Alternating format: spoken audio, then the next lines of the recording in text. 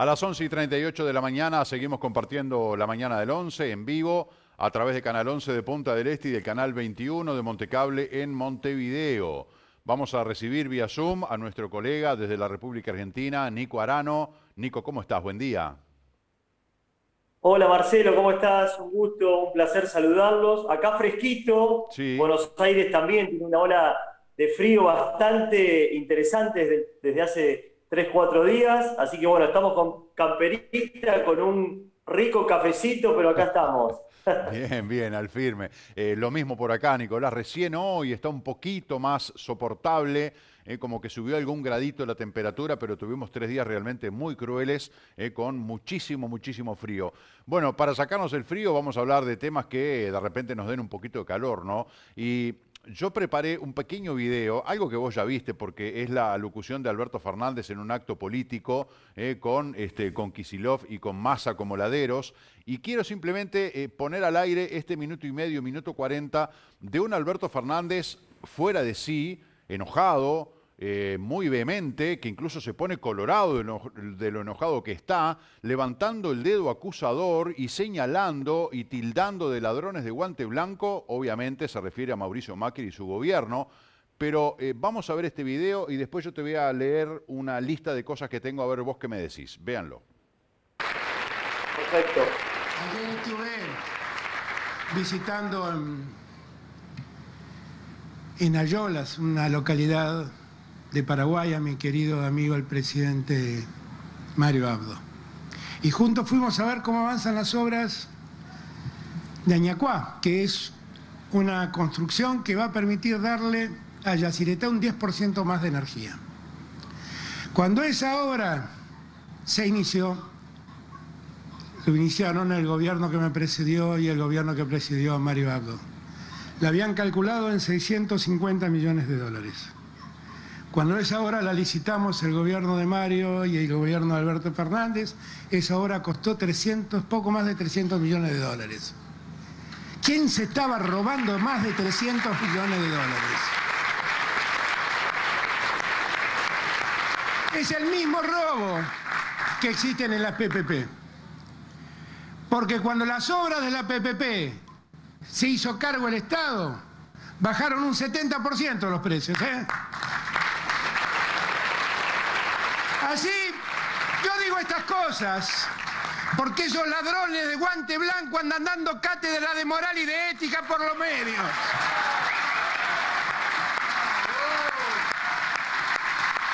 Yo estoy esperando que alguna vez la justicia llame a esos ladrones de guante blanco a rendir cuenta de lo que han hecho.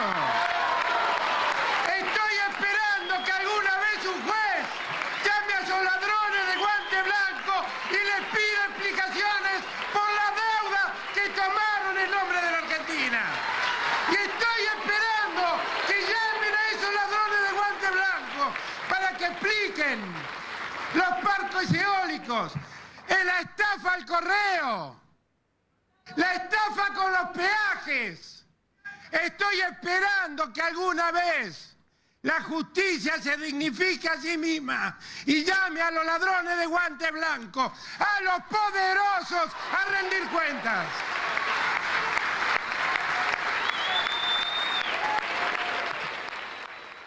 Que la justicia se dignifique a sí misma, dice Alberto Fernández, con toda esa lista de acusaciones, ¿no? Que habrá que investigarlas, puede ser que tenga razón Alberto Fernández, y Mauricio Macri, quienes tengan que dar cuenta, tendrán que responder y si tienen que ir presos, tendrán que ir presos. Pero yo ahora te leo, la causa vialidad, ¿no? Causas contra Cristina Fernández, actual vicepresidente de la Nación. Causa por irregularidades en la concesión de obras viales en Santa Cruz. La causa de dólar futuro, irregularidades en las operaciones con esas monedas por las que fue procesada por administración infiel en perjuicio del Estado, asociación ilícita y administración fraudulenta agravada firma del memorándum de entendimiento con Irán, que terminó con el asesinato de Nisman además, pero se pidió el desafuero de Cristina Fernández y no fue ni siquiera tratado en el Congreso y fue procesada igualmente por traición a la patria y encubrimiento. La causa de los sauces, que tiene que ver con los pagos de alquileres de propiedades por adjudicación de obra pública. La causa de Otesur, en la que está procesada por lavado de activos y asociación ilícita junto a sus hijos por el lavado de dinero en el Hotel Alto Calafate en Santa Cruz. La causa de los cuadernos de las coimas, acusada de ser una jefa o la jefa de una asociación ilícita procesada con prisión preventiva, además de subsidios a los trenes y subtes, uso de aviones oficiales para enviar objetos a Río Gallegos y el, Calafate, compra de gas natural licuado, procesada con prisión preventiva, eh, un procesamiento que luego fue revocado. Es decir, llama la atención por un lado que Alberto Fernández llame a esa justicia a que lleve a los ladrones de guante blanco que den explicaciones y no haga una autocrítica ¿no? con Cristina Fernández. Y por otro lado, si la justicia que está esperando, Alberto Fernández dice, estoy esperando que la justicia, si está esperando la misma justicia que está esperando Cristina Fernández, hay para largo rato. Todo esto, Nico, porque yo te quiero preguntar, ¿Cómo lo viven los argentinos esta suerte de dicotomía? De decir, bueno, pero eh, hay alguien que levanta el dedo acusador con una vehemencia y una acusación grave eh, y sin embargo no está mirando que de compañera de fórmula tiene una mujer que tiene 10 procesamientos por causas, algunas de las cuales someramente acabo de detallar. La verdad que te estaba escuchando viene muy, muy preciso todo lo que estabas contando y es increíble cómo uno puede em, tomar cierta referencia en base a estos temas, ¿no? Un presidente que está muy debilitado, que no hace ninguna autocrítica, que hace dos semanas, cuando nos contactamos, como hacemos cada 15 días, yo te estaba comentando que estaba la causa de la fiesta de Olivos. Alberto Fernández lo arregló con plata. Hay un juez aquí en Argentina que se llama Lino Mirabelli, de 51 años, que está a cargo del juzgado de San Isidro, que Alberto Fernández puso 3 millones de pesos argentinos, 16 mil dólares para, tener noción en tema de, números, y salió sobreseído de una de las causas, más allá de todas las que tú hiciste mención, que, tiene que tienen muchos años, mucho recorrido, que hay mucha plata. Hace muy poquito Argentina pasó por una de las cuarentenas más estrictas a nivel mundial y el propio presidente fue el que estuvo en su casa, que hizo una fiesta que su mujer festejó su cumpleaños y todos los argentinos estamos muy dolidos, o la gran mayoría, en cómo se ha solucionado este tema. Ha sido un golpe muy fuerte y esta dicotomía que haces mención es muy válida porque está muy dividido ciertos temas, pero lo que no está dividido es eh, las instituciones, la falta de la palabra, el tener un sentido claro sobre ciertas cosas. Al presidente se lo ve sacado, no está en su eje, está tirando ciertos manotazos electorales para ver qué pasará en el 2023. Y mientras tanto estamos nosotros, el pueblo, que sinceramente es una vergüenza a nivel mundial lo que ha pasado aquí en Argentina, más que nada con todas estas causas y principalmente Em, tomando noción más allá de los colores políticos. Argentina tiene una grave crisis institucional de los partidos políticos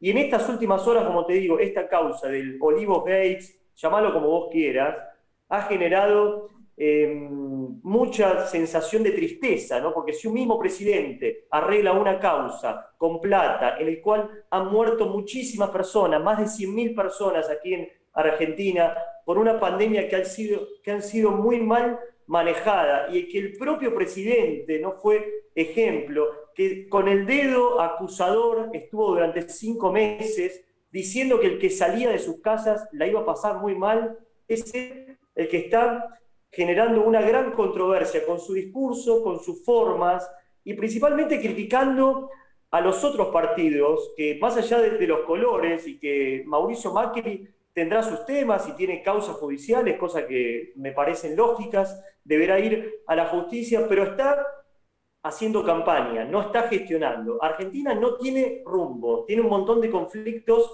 que van más allá de lo que el presidente está haciendo. Y sinceramente, te soy franco, estamos muy tristes. Yo, por, por lo menos a título personal, estamos tristes porque no hay una salida. Lo único que te hace feliz es un partido que jugó ayer Argentina ganó 3 a 0 y la gente se agarra de ciertas cosas chiquititas que no tienen nada que ver una cosa con otra, ¿no?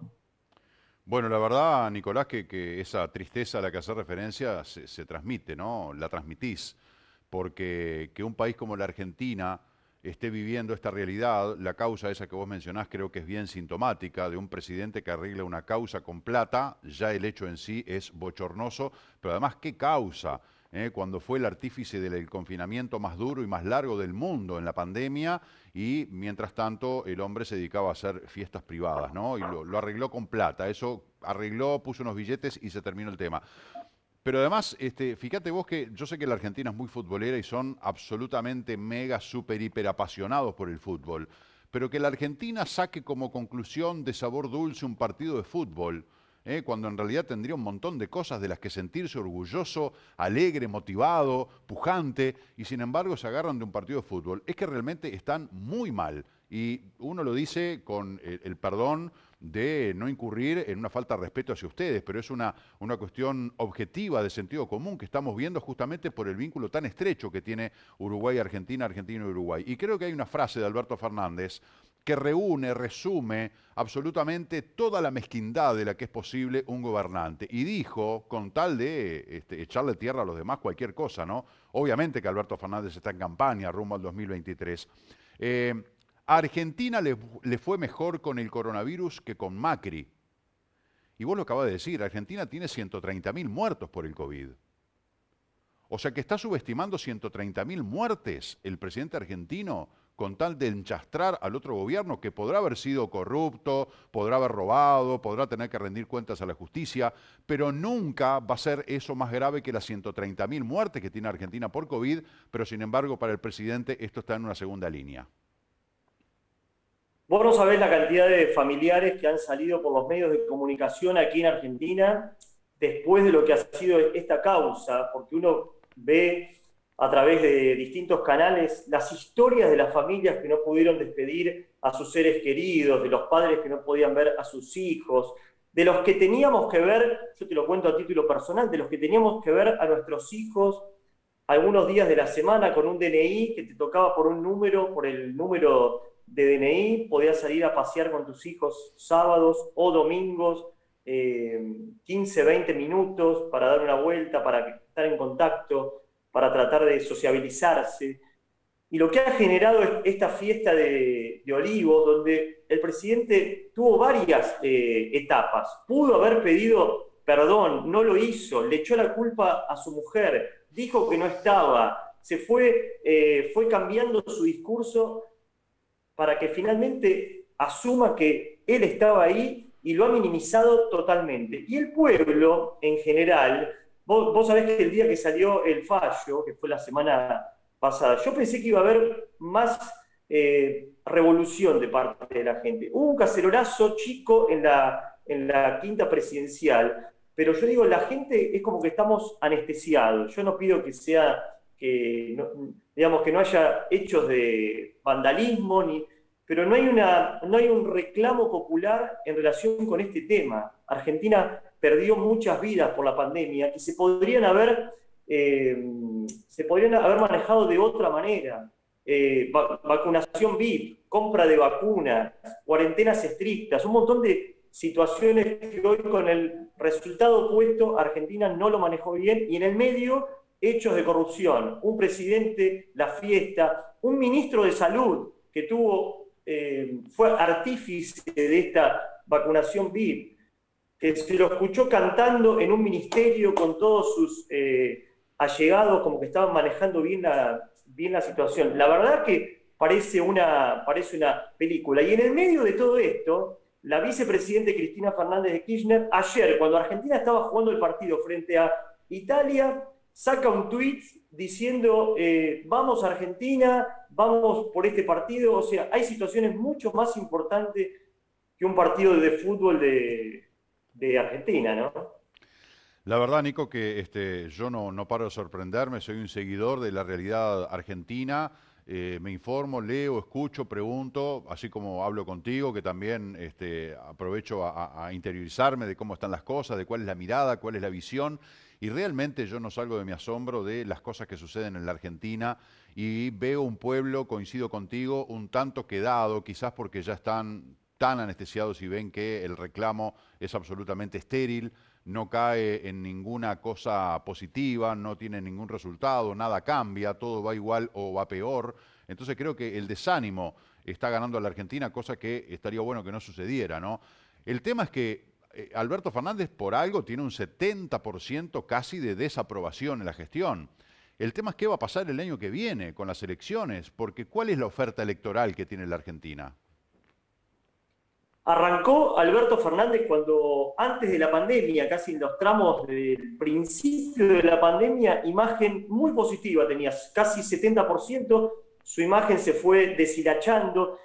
Y ahora las perspectivas para el 2023, la verdad que son muchas, hay muchas eh, posibilidades. Una es, eh, Juntos por el Cambio, que lo que me molesta mucho de la oposición es que se está valorando mucho más el ego personal que sobre los partidos políticos, sobre su partido político. Tenemos a un Mauricio Macri que está coqueteando con que no sabe si va a ser candidato, si se va a postular nuevamente. En las últimas semanas ha dado varias entrevistas en los medios y no ha definido su postura si va a ser presidencial o de, eh, o de un apoyo o de un asesor a su partido. La tenemos a una Patricia Burlich firme que quiere ser candidata, que el próximo martes va a haber una reunión clave aquí en Buenos Aires, en la provincia de Buenos Aires, que va a asistir Mauricio Macri, un Horacio Rodríguez Larreta que también cuenta con el gran apoyo de Mauricio Macri, pero veremos si habrá internas. Y en el medio de todo esto está eh, Javier Milei revolucionando con sus ideas libertarias y viendo a ver de qué manera se puede traccionar o ser su propio partido o realizar distintas alianzas para poder competirle al frente de todos, que Alberto Fernández lo ha dicho, eh, ellos no se dan por, por muertos, veremos a ver cuáles serán las internas, qué pasará con él, con Cristina Fernández. El gobierno apuesta a tratar de bajar esta inflación galopante que se va por las nubes. Ahora, el próximo 25 de julio y hace muy poquitas horas Alberto Fernández tuvo una comunicación intensa durante 25 minutos con Joe Biden, con el presidente de Estados Unidos. Va a tener un cara a cara personal, un mano a mano para tratar de afianzar su relación con Estados Unidos y mostrar a su pueblo que Argentina puede llegar a salir de esta situación muy problemática que yo creo que el actual gobierno no se da cuenta o no tiene una noción clara de cuál es la realidad y la prioridad de los temas. La luz, el gas subieron, eh, el faltante de gasoil, hoy por la mañana Argentina, ya estos últimos días, pero hoy tiene un gran faltante de gasoil en el norte de Argentina. Los países vecinos, ¿qué hacen? Vienen a comprar gasoil a Argentina porque le sale mucho más barato. Eso lo que hace complica el mercado interno. Entonces, tenés grietas, más allá de la política, tenés grietas sobre temas muy complicados que veremos cómo Argentina los irá sorteando. Qué difícil, es ¿eh? un panorama realmente para... Eh, es complicado explicarlo también.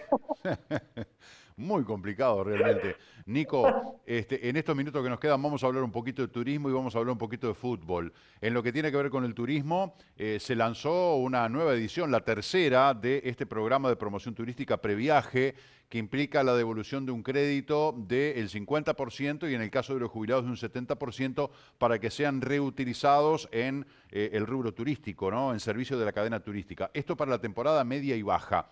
¿Qué incidencia puede tener esto en el turismo, habida cuenta de que hay una situación deteriorada en la Argentina con esa inflación galopante, de la que Uruguay no es ajeno tampoco, pero eh, esto, ¿esto puede prender, puede servir para dinamizar un poco el turismo?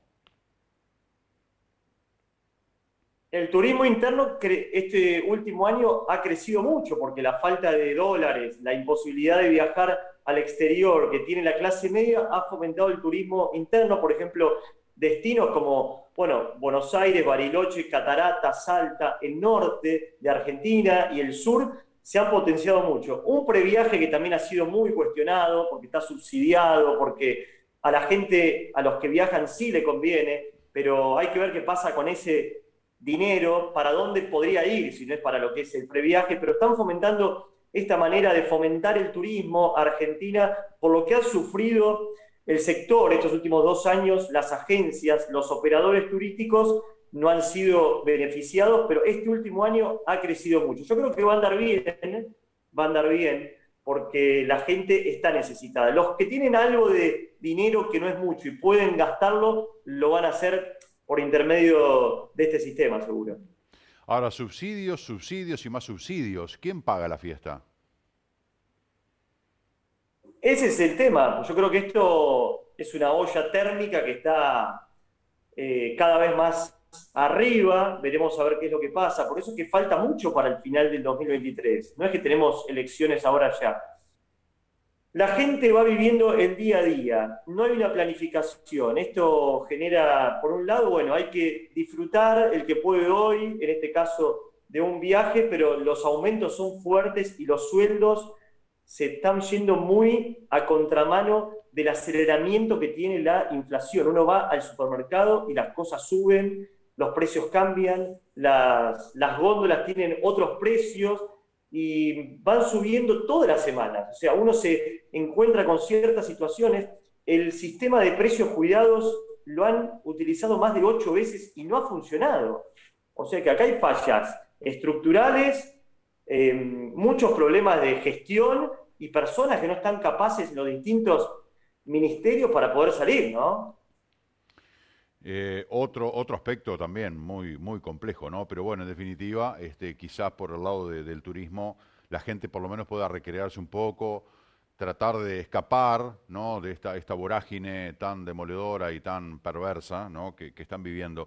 Eh, Nico, eh, hablando de fútbol, bueno, por lo menos ahí tiene una alegría, ¿no? Este, nosotros ya la miramos de afuera, todos los equipos uruguayos eliminados de Copa Libertadores, de Copa Sudamericana. Este, tenemos un fútbol empobrecido porque necesitamos dinero y por suerte tenemos una cantera de jugadores excelentes que los convertimos en plata, los vendemos, los transferimos, entra plata en los clubes, entra plata en la Asociación Uruguaya de Fútbol, pero el fútbol nuestro termina siendo casi que de cabotaje, ¿no? de vuelo rasante. Ustedes en ese sentido tienen otra realidad para contar.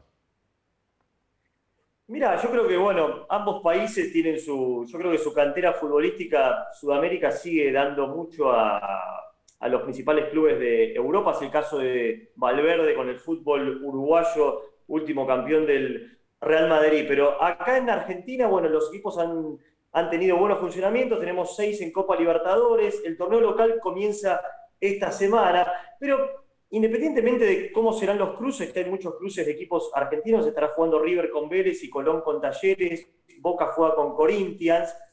Vos fijate lo que ha generado ayer un partido de fútbol que se mezcla un poco con la política y con el deporte. Ayer Argentina estuvo paralizada, o sea, todas las agendas laborales se, se precipitaron, o en este caso el Mundial se va a jugar entre noviembre y diciembre, o sea que ya estamos ahí a fin de año. El veranito pasa siempre suelto, los políticos cambian sus, sus agendas y ya tenés que estar pensando en marzo del año 2023, que ahí seguramente sí, ya habrán varios candidatos para ver cuál será la carrera presidencial. Yo creo que hay una gran expectativa de la gente en relación a quién va a ser el nuevo presidente. Ahora, yo hablo con familiares, amigos, ¿a quién vas a votar? Y nadie sabe, la verdad. hay, una gran, eh, hay un gran enigma que uno no sabe para dónde ir, ¿no? Bueno, habrá que ver, ¿no? Este, eh, andando se acomodan los zapallos en el carro, dice un refrán popular. Habrá, habrá, que ir viendo sobre la marcha, bueno, qué pasa con el Campeonato del Mundo, que para Argentina tiene una, incidencia muy importante, lo que es eh, el Campeonato del Mundo, con eh, grandes chances, tienen una gran selección. Recién veíamos ahí a Messi y al Dibu, ¿no? El encargado de hacer los goles y el encargado de evitar los goles. Eh, los dos los dos grandes jugadores, sin duda, porque el Dibu también está en un momento brillante, atajando en el Aston Villa y que ha demostrado en la Copa América, de la que Argentina es campeona, eh, que es un gran arquero, ¿no? Que realmente tiene, más allá de su habilidad para jugar abajo de los tres palos, digo, tiene un, tema psicológico sobre sus compañeros y sobre los rivales que lo hacen distinto. Así que bueno, seguramente el Campeonato del Mundo de Qatar este, nos traiga, que además distinto, ¿no? Porque jugar un Campeonato del Mundo en verano no estamos acostumbrados, pero bueno, ya que se juega en tierras tan áridas, eh, vamos a tener aquí la posibilidad también de disfrutar un Campeonato del Mundo con, calor. Nico, se nos ha terminado el tiempo. Eh, la verdad que un gustazo conversar contigo como siempre. La verdad que para mí también es un placer. Estoy muy eufórico, ¿viste? Porque acá pasan cosas, todos los días tenés cosas. Así que divertirnos, siempre vamos a poder tener temas para poder, para poder conversar. Para el próximo encuentro te voy a contar lo que está pasando en el centro de la capital, aquí en Buenos Aires. Un centro que, que está hoy en la actualidad devastado. Después de la pandemia hay un 50% menos de movimiento, las oficinas están vacías, locales cerrados, bueno, y hay varios temas para poder conversar en relación con ese tema. Qué locura, buenísimo, Nico, que ya, que ya lo tires este, como avance, porque la verdad que un, un centro porteño que siempre fue de lo más glamoroso, luminoso y maravilloso que hubo y está tremendamente depreciado producto de la pandemia. Este, así que bueno, será un tema más que interesante para charlar dentro de un par de semanas. Un gran abrazo. Abrazo grande, saludos para todos. ¿eh? Muchas gracias. Gracias, vamos arriba. Chau, chau. Bueno, señoras y señores, vamos a hacer una pausa. Sí, 12 y 5, ya volvemos.